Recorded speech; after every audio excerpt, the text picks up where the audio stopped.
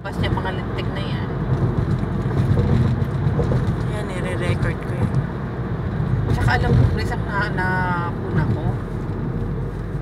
Mm. Humina ang pasensya ko, naging bugnutin ako. Bakit? Dahil sa stress sa buhay. At tingnan mo yung, ano ba naman to, pagkaliit-liit naman na ng daan. Kasya ka naman. I know, pero kapag nagmam, nag, mata, ma, maano speed mo, hindi ka kakasya. Tingnan mo, lalabas na tayo. Paano tayo makakalabas dito? Saan ba dapat? Sa alin ba ang sinasarahan niya? Yung bang kanan o kaliwa?